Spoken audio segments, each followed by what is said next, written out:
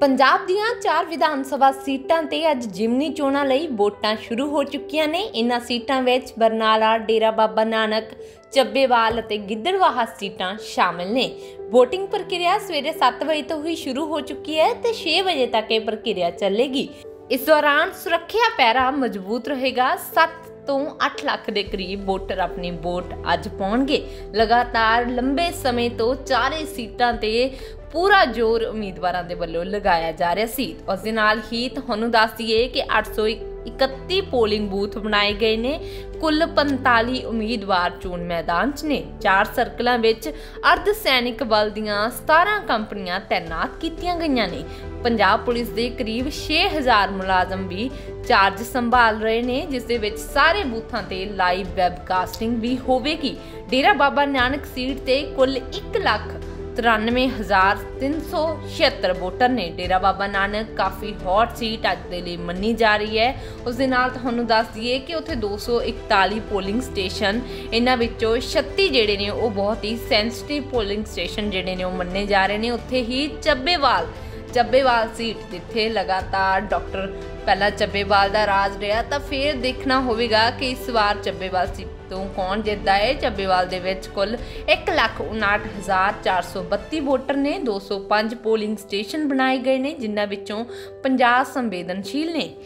ਗਿੱਦੜਵਾਹਾ ਦੀ ਗੱਲ ਕਰੀਏ ਤਾਂ ਗਿੱਦੜਵਾਹਾ ਉਹ ਸੀਟ ਹੈ ਜੋ ਕਿ ਇਸ ਸਮੇਂ ਦੀ ਸਭ ਤੋਂ ਹੌਟ ਸੀਟ ਮੰਨੀ ਜਾ ਰਹੀ ਹੈ, ਜਿੱਥੇ ਮਾਮਲਾ ਤਿਕੋਨਾ ਹੈ ਤੇ ਹਾਲੇ ਤੱਕ ਕੁਝ ਵੀ ਸਾਫ਼ ਜਿਹੜਾ ਹੈ ਉਹ ਨਹੀਂ ਹੋਇਆ। ਉੱਥੇ ਲਗਭਗ 1 ਲੱਖ 66000 ਵੋਟਰਾਂ ਦੇ ਹੱਥ ਹੈ ਗਿੱਦੜਵਾਹਾ ਦਾ ਨਵਾਂ ਉਮੀਦਵਾਰ।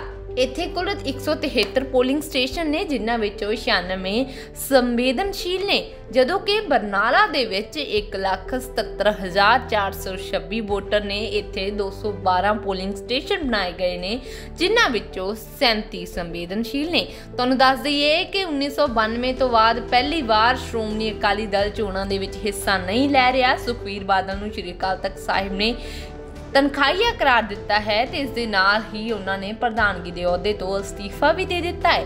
ਹਾਲਾਂਕਿ ਇਸ ਚੋਣ ਦੇ ਵਿੱਚ ਅਕਾਲੀ ਦਲ ਵੋਟ ਬੈਂਕ ਦੇ ਕਿੰਗ ਮੇਕਰ ਦੀ ਭੂਮਿਕਾ ਨਿਭਾਏਗਾ। ਇਸ ਵਾਰ ਆਮ ਆਦਮੀ ਪਾਰਟੀ ਕਾਂਗਰਸ ਅਤੇ ਭਾਜਪਾ ਵਿਚਾਲੇ ਮੁਕਾਬਲਾ ਹੈ, ਪਰ ਹੁਣ ਅਕਾਲੀ ਦਲ ਦੀ ਵੋਟ ਕਿਸ ਨੂੰ ਜਾਵੇਗੀ, ਇਹ ਹਾਲੇ ਤੱਕ ਵੀ ਉਸੇ ਤਰ੍ਹਾਂ ਹੀ ਇੱਕ ਵੱਡਾ ਰਾਜ ਬਣਿਆ ਹੋਇਆ ਹੈ।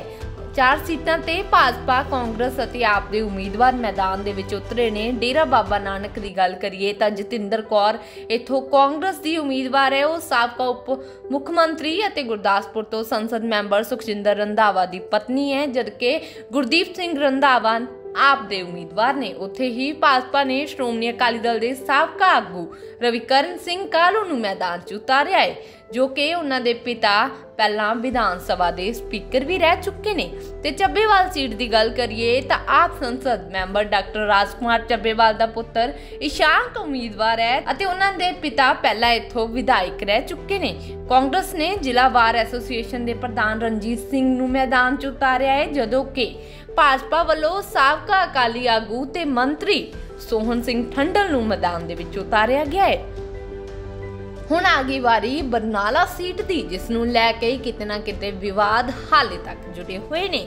ਇਸ ਸੀਟ ਤੇ ਆਪ ਤੋਂ ਹਰਿੰਦਰ ਸਿੰਘ ਢਾਲੀਵਾਲ ਚੋਣ ਲੜ ਰਹੇ ਨੇ, ਜੋ ਕਿ ਸੰਸਦ ਮੈਂਬਰ ਗੁਰਮੀਤ ਸਿੰਘ ਮੀਤ ਹੇਅਰ ਦੇ ਕਰੀਬੀ ਨੇ। ਇਸੇ ਤਰ੍ਹਾਂ ਭਾਜਪਾ ਨੇ ਕਾਂਗਰਸ ਛੱਡ ਕੇ ਹਲਕੇ ਦੇ ਦੋ ਵਾਰ ਵਿਧਾਇਕ ਰਹਿ ਚੁੱਕੇ। ਕੇਵਲ ਢਿੱਲੋਂ ਅਤੇ ਕਾਂਗਰਸ ਦੇ ਕੁਲਦੀਪ ਸਿੰਘ ਕਾਲਾ ਢਿੱਲੋਂ ਨੂੰ ਉਮੀਦਵਾਰ ਬਣਾਇਆ ਹੈ। ਗਿੱਦੜਵਾਹਾ ਦੇ ਵਿੱਚ ਵੀ ਇੱਕ ਸਿਆਸੀ ਜੰਗ ਜਿਹੜੀ ਆ ਉਹ ਲਗਾਤਾਰ ਛਿੜੀ ਹੋਈ ਹੈ, ਜਿਸ ਦੇ ਚੱਲਦੇ ਪਾਰਟੀ ਪ੍ਰਧਾਨ ਅਮਰਿੰਦਰ ਸਿੰਘ ਰਾਜਾ ਵੜਿੰਗ ਨੇ ਆਪਣੀ ਪਤਨੀ ਅਮ੍ਰਿਤਾ ਵੜਿੰਗ ਨੂੰ ਕਾਂਗਰਸ ਵੱਲੋਂ ਉਮੀਦਵਾਰ ਦੇ ਤੌਰ ਤੇ ਮੈਦਾਨ 'ਚ ਉਤਾਰਿਆ ਹੈ ਤੇ ਜਦੋਂ ਕਿ ਆਮ ਆਦਮੀ ਪਾਰਟੀ ਦੀ ਗੱਲ ਕਰੀਏ ਤਾਂ ਉਹਨਾਂ ਦੇ ਵੱਲੋਂ ਪਹਿਲਾਂ ਅਕਾਲੀ ਦਲ ਦੇ ਵਿੱਚ ਰਹੇ ਸੁਖਵੀਰ ਬਾਦਲ ਦੀ ਸੱਜੀ ਵਾਂਗ ਕਹਿਣ ਵਾਲੇ ਹਰਦੀਪ ਸਿੰਘ ਡਿੰਪੀ ਢਿੱਲੋਂ, ਜੋ ਕਿ ਆਪ ਦੇ ਵਿੱਚ ਸ਼ਾਮਿਲ ਹੋ ਗਏ ਸੀ, ਉਹਨਾਂ ਨੂੰ ਮੈਦਾਨ 'ਚ ਉਤਾਰਿਆ ਤੇ ਤੀਜੇ ਪਾਸੇ ਇੱਕ ਮੇਨ ਸਿਆਸੀ ਜਿਹੜਾ ਕਹਿ ਸਕਦੇ ਆ ਕਿ ਸਿਆਸੀ ਸਫ਼ਰ ਰਿਹਾ ਉਹਨਾਂ ਦਾ, ਤੇ ਮੇਨ ਗੱਲ ਜੋ ਹੈ ਬੀਜੇਪੀ ਦੇ ਵੱਲੋਂ ਮੈਦਾਨ 'ਚ ਉਤਰੇ ਨੇ।